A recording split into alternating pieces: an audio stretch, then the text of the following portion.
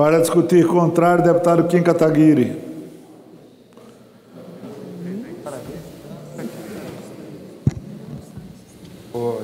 A palavra, Vossa Excelência. Senhor, senhor presidente, senhores deputados, primeiro lamentar que um debate dessa importância, dessa magnitude, seja feito nessa velocidade. Né? Nós recebemos aí o parecer há mais ou menos uma hora e não há tempo hábil sequer para iniciar o debate dos artigos que foram colocados pela relatora.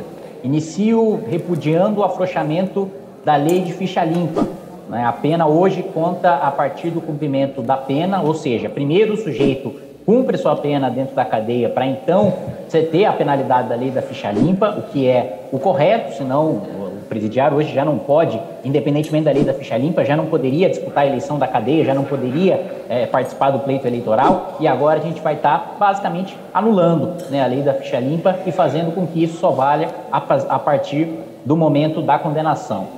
Além disso, tem uma previsão vaga uh, sobre a criação de uma espécie de voz do Brasil da internet, o que é, causa estranheza, porque a internet não é concessão, diferente de rádio e de televisão, e a viabilidade né, da, da, desse texto também é questionável. Né? Como que a gente vai fazer? A gente abre o WhatsApp, a gente abre o Facebook, a gente abre o Instagram e de repente a gente é obrigado a assistir uma propaganda governamental antes dele, é obrigado a assistir algum programa estatal, né, seja da Câmara dos Deputados, seja do Palácio do Planalto, antes de iniciar a nossa navegação nesse aplicativo.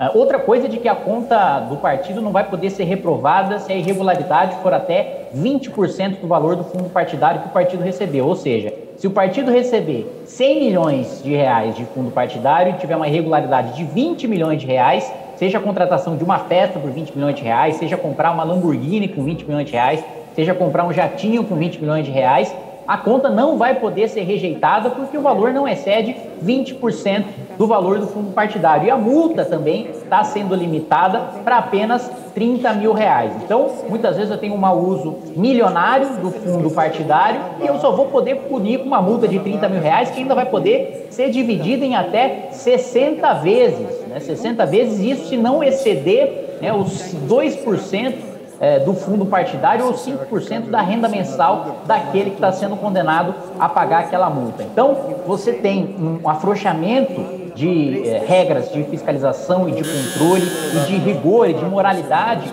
eleitoral, um parlamentar, um prefeito, um governador ou um presidente da República que renunciar antes do fim de processo de cassação mantém os seus direitos políticos, ou seja, a gente iniciar o processo de impeachment do Bolsonaro amanhã, tiver para votar a condenação no Senado, se ele renuncia um dia antes, ele mantém os seus direitos políticos. A mesma coisa um deputado que está prestes a ser cassado, mantém os direitos políticos e pode disputar a próxima eleição. Então, é um código que ainda está muito mal debatido e por isso eu defendo o adiamento da discussão, Pedro.